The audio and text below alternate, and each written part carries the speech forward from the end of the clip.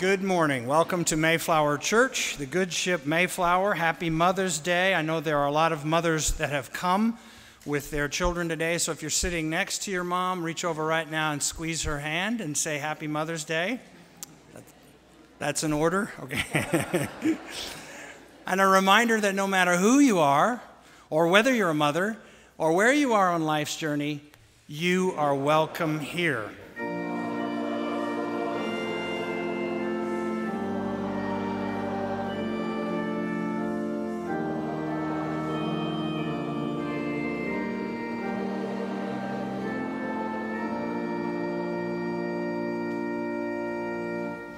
Would you bow your heads with me? Gracious God, we've gathered in this room because it is a thin place, a place where heaven and earth can feel so close together that we would swear there's no separation at all. We need such a place to be honest about our own failures as well as those who have failed us. On this day, when we honor mothers, help us to remember that whether someone has given birth or not, does not make you a mother. Tenacious, self sacrificing, unconditional love makes you a mother, and the world is in desperate need of such mothering. Calling all moms and dads, there are wars to stop, systemic racism to call out, kids to educate as a sacred obligation, and way too many adults who do not know how to play nicely together. In a world where we spend so much of our time worrying about what we have and not nearly enough time worrying about what we are becoming, this thin place is a safe place to ask for an end to pretending, an end to illusions, an end to striving. For, yea, verily, we know that no amount of stuff will make us happy. Relationships make us happy. Having integrity makes us happy. Being vulnerable in the presence of another human being we trust makes us happy. The sound of children laughing makes us happy. The possibility of peace makes us happy. The chance to forgive someone makes us happy. Not to mention that it can start the world over again. So, for everything our mothers did for us, and for everything they are still doing for us. We are grateful beyond words. Way to go, Mom. Amen. The scripture lesson this morning is really next week's scripture lesson, but I'll explain that. When the day of Pentecost had come, they were all together in one place, and suddenly from heaven there came a sound like the rush of a violent wind, and it filled the entire house where they were sitting.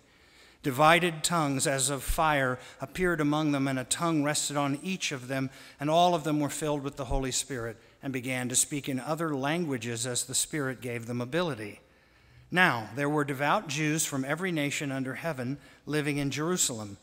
And at this sound, the crowd gathered and was bewildered because each one heard them speaking in the native language of each.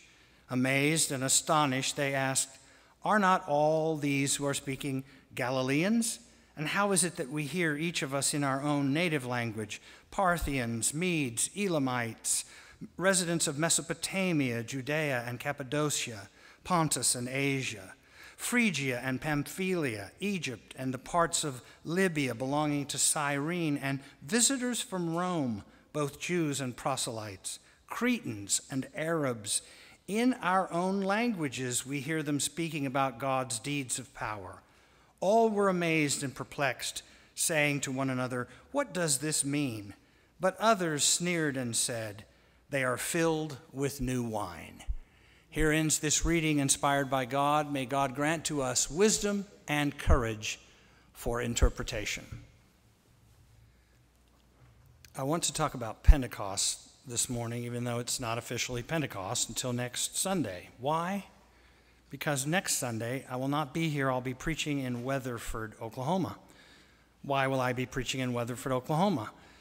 Because some goofy clergy person had this bright idea that UCC ministers in our conference ought to exchange pulpits on Pentecost once a year. So, you know, we could get into each other's churches and meet new people and preach. And that goofy clergy person was me. I have been trying to get the conference to institute a conference wide pulpit exchange for several years, and it's finally happening. And I'm going to meet the good folks at Weatherford. And David Wheeler, who's the pastor at Federated Church of Weatherford and also First Congregational Church of Norman, will be preaching here next Sunday. And if this is all not confusing enough, I have picked a very strange topic for this sermon because I can't quit thinking about something that I've actually never heard a sermon preached about before vibration. In particular, a kind of theology of vibration, especially good vibration, as in that vernacular expression, good vibes. I'm picking up good vibes. I'm picking up good vibrations. Thank you, Beach Boys. We went from that anthem straight to the Beach Boys. You, you got to stay flexible here. I'm picking up good vibrations. She's given me excitations. Well, okay, that's probably not the Holy Spirit they're talking about there. I'm, I'm thinking no, but I'm going to, and in this sermon, she is precisely that the mysterious, fickle, unmistakable, irresistible force that gave birth to the church and will sustain it if anything can. Good vibrations. A personal confession first. I'm thinking about vibration as a theological idea right now because I'm trying to write a book about God that takes quantum physics seriously. This is where the idea of the luminous web came from, and why I speak so often in sermons about all our actions, whether loving or not, whether small or very significant, they all vibrate, they vibrate some strand of the web, as if one were plucking a string on a musical instrument, which, if everything really is connected to everything else, will set the whole web trembling vibrating, and that will change the world. We strike a singing bowl every Sunday morning for the same reason to remind us all that we are all entangled, not just in the physics of creation, but in the tonality of creation. Listening to the Piedmont Singers last Sunday evening was part of this sermon decision. They, they pushed me over the edge. For those of you who were here and had the pleasure of hearing that wonderful college choral group, as they performed in what is really an acoustically wonderful space. We, we take it for granted, but visitors rave about this place as a place to sing. You know what that was all about vibration. Primarily vocal cords, of course, but also drums and air moving through different sized organ pipes producing pitched vibrations in harmony with vocal vibrations, and then it was all sent out over the air as packaged tonal vibrations to make harmony. And what is harmony? Well, I wouldn't know if you've heard me sing.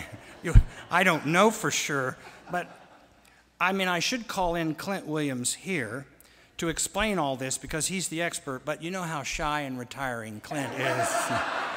so I'm not going to put him on the spot. But I suspect that he would agree that whatever else music is, it's at least this choreographed harmonic vibration, good vibrations. And last Sunday night, we were all picking up good vibrations. It moved us, lifted us, excited us. I'm picking up good vibrations. The Holy Spirit's given me excitations. Good, good, good, good vibrations. I dare you not to be humming that awful song when you leave this morning. now, about Pentecost. Uh, when the day of Pentecost had come, and listen closely, they were all together in one place. So, rule number one the Holy Spirit prefers a gathering to a collection of isolated individuals. That's one reason why America is in the midst of a moral crisis we are altogether too alone with ourselves. You know, we're rugged individuals and all that, don't need nobody and all that. Yes, you do. Yes, you do need somebody. It's like eating alone. You can do it, but the conversation's not nearly as good. And actually, neither is the food. And suddenly from heaven, and when I think heaven here, I don't think up, but rather from God, from the good, from the place of the sacred, there came a sound like the rush of a violent wind, and it filled the entire house. So, what's the first metaphor to describe the arrival of the Holy Spirit? Sound. Not, not a form, not a visual, not anything that's seen, but vibration. Good, good, good, good vibration. Like the rush of a mighty wind, huh? We can relate to that around here, especially in the last few days. It's been windy. Small people were blown over.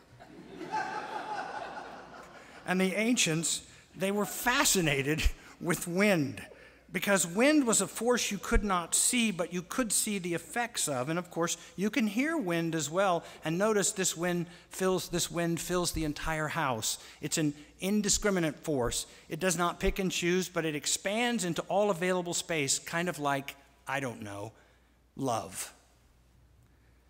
Then here comes the most famous metaphor for Pentecost. Divided tongues as of fire rested on each of them. All of them were filled with the Holy Spirit and began to speak in other languages as the Spirit gave them ability.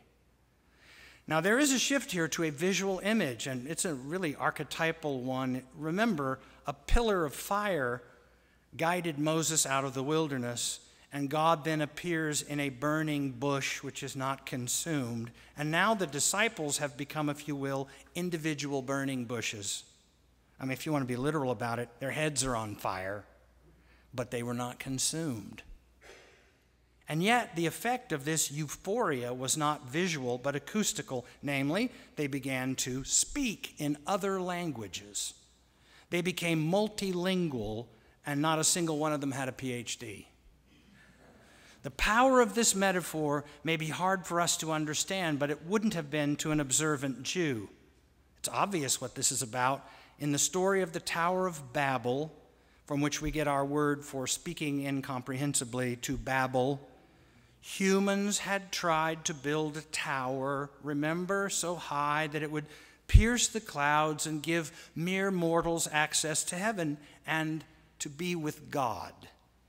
And so, to punish their hubris, or maybe God wasn't up to begin with, what does God do? He confuses their tongues. Now, not only does it make it impossible to complete this project because one guy says, Pass me the hammer, but it sounds exactly like, Pass me the peanut butter and jelly. Nobody can understand anybody. But it serves also to explain why God would have allowed a world where there's all these different languages to begin with. I mean, wouldn't it have been easier if we spoke the same language? You know, for peace and harmony among the nations, save money on interpreters. I mean, wouldn't that be good vibrations? So the Spirit arrives at the birth of the church as wind, and its primary effect is to overcome the fundamental separation that is no entiendo, I do not understand, no comprendo, I do not comprehend. Because next to race, what is it that separates us fundamentally? It's language. So the Holy Spirit shows up, and no entiendo becomes just entiendo, I understand. Comprendo, I comprehend. Or to translate this into the vernacular, I get you.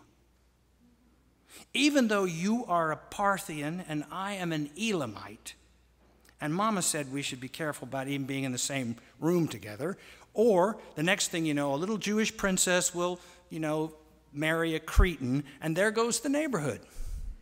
Suffice it to say, these people did not all get along with each other, but, but they started picking up good vibrations. The Holy Spirit's given them excitation. And here's a great little piece of biblical trivia did you know that in Acts 2, there is the only story in the Bible in which a crowd is described in advance of the message given to the crowd? You know why? Because the crowd is the message.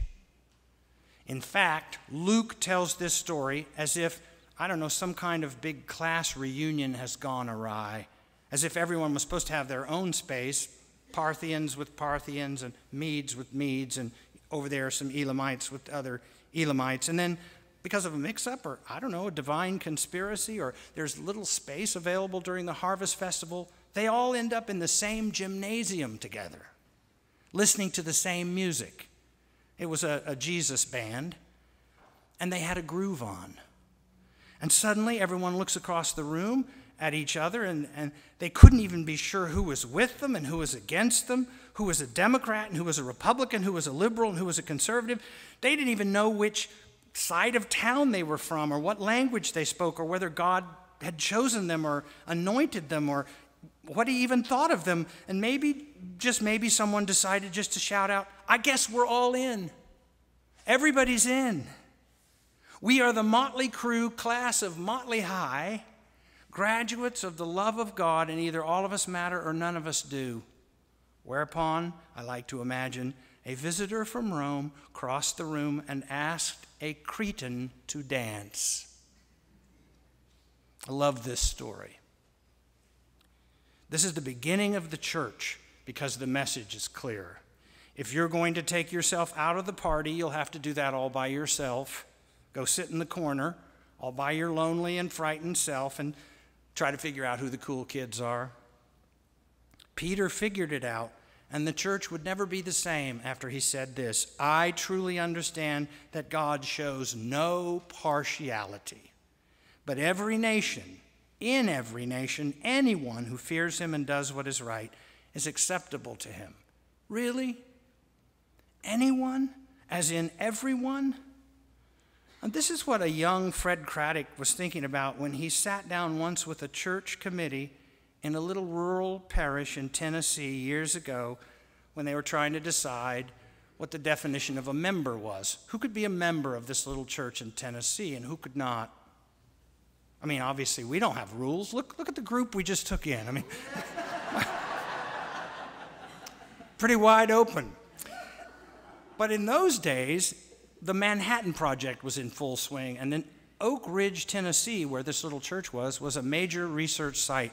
So all these workers had come from all over the place for the jobs, no doubt, you know, from you know, Phrygia and Pamphylia and Egypt, even parts of Libya belonging to Cyrene, and perhaps even Florida, some strange place like that. And some of them were living in trailers because they were migrants but they wanted to come to Fred's little church, and the elders would have none of it. So they passed a resolution quote, only people who own property in this county will be considered for membership in this church. Whereupon Fred said, I resign. Stunned, the elder said, Oh, so, okay, Fred, um, calm down. What, what, what do you suggest we adopt as a policy for what qualifies a person to be a member of this church? And Fred said, How about this? We'll reject as members only those people we think Jesus would have rejected. And we will accept only those we think Jesus would have accepted. This was followed, of course, by awkward silence. And then they fired him anyway. And this confirms John Wesley's contention that nothing, nothing is as offensive to ordinary people as the grace of God. Years later, Fred returned to the site of that little church. It's now a barbecue joint. And Fred said, Really, it's, it's a better barbecue joint than it was a church. For one thing, he said, it serves a much more diverse crowd. You've got your Parthians, your Medes, your Elamites and what holds them together? They love barbecue. And I love the end of the story. Unable to come up with a rational reason why these people should not be able to stand one another, but are acting like this big rowdy family, and obviously they're unaware of the Beach Boys song. So the only thing they can come up with is this well, they're filled with new wine. You ever notice how people who aren't very happy look at people who look like they're having a good time and say they're drunk? I mean, maybe they are, but not necessarily. It's only nine o'clock in the morning. Maybe they're not drunk on wine. Maybe they're picking up good, good, good, good vibrations, like we all did listening to the Piedmont singers, like, like we all do when we visit Nicaragua and see these people that have nothing but they're so happy, or like we do when Mayflower does rebuilding together, our version of the extreme makeover of someone's house and then the homeowner comes home, and we see the expression on their face when they look at their own home transformed by strangers. I might even go so far as to say that in that moment, if we looked around with a little imagination, we might see tongues of fire dancing over everyone's heads. and everyone would speak the language of love across all our differences, and everyone would understand. They're not drunk on wine, they're drunk on love. On this Mother's Day, it's good to remember the first vibration that any of us heard was the beating of our mother's heart. Heartbeats are, in fact, what make us all percussionists. The first voice we heard up close was her voice because good vibrations are the currency of caring. And listen to what people say Oh, it's just so good to hear the sound of your voice when a friend calls or a loved one whispers words of encouragement, or sometimes when we just look at the world and see the beauty of it clearly and we feel suddenly a part of everything that is, what happens? This shudder runs down our spine. And what do you call that? Goosebumps? Good karma? Good vibes? Doesn't really matter. It's the way the world is made. Vibrations are happening. Dr. King said once, quote, we are constant page turners in each other's lives. Not a quote he's well known for, but this one he is. We must all learn to live together as brothers, or we will perish together as fools. Now, listen to this. We are tied together in the single garment of destiny, caught in an inescapable network of mutuality. And whatever affects one directly, said Dr. King, affects all indirectly. For some strange reason, he went on, I can never be what I ought to be until you are what you ought to be. This is the way God's universe is made, this is the way it is structured. I did not know he studied quantum physics. A single garment of destiny? That's the luminous web. Or maybe he just observed the way in which life is constantly teaching the essential lesson that for good or for evil, everything really is connected to everything else. There are no inconsequential actions. You should let go of that illusion. And the church needs to divorce itself from doctrine and dogma and just get married again to wisdom. We need to teach and preach a theology of consequence, not a theology of obedience. Connect the dots. And if you can't connect all of them, just have faith that they'll be connected beyond your ability to comprehend their correct connection.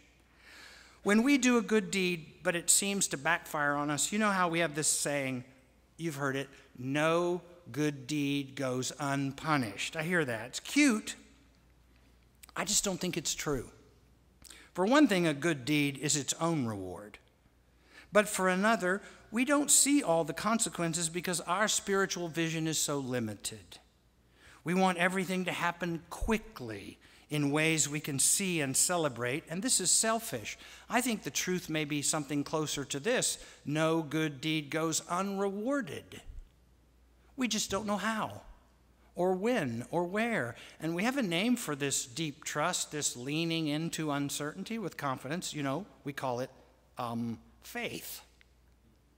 Because, because if everything was easy to understand and easy to be certain about, we would need no faith whatsoever. Well, thank goodness we've gotten some new passengers aboard the good ship Mayflower. Because I've got to tell you, the good deeds of this place are being rewarded in ways we've not yet comprehended. People think we're strange, of course. That's okay. I'm sure some people think we're drunk, but they're wrong. We're just picking up and passing on good vibrations. Good, good, good, good vibrations. The Holy Spirit's given us excitations. So there you have it Pentecost and the Beach Boys. Who knew?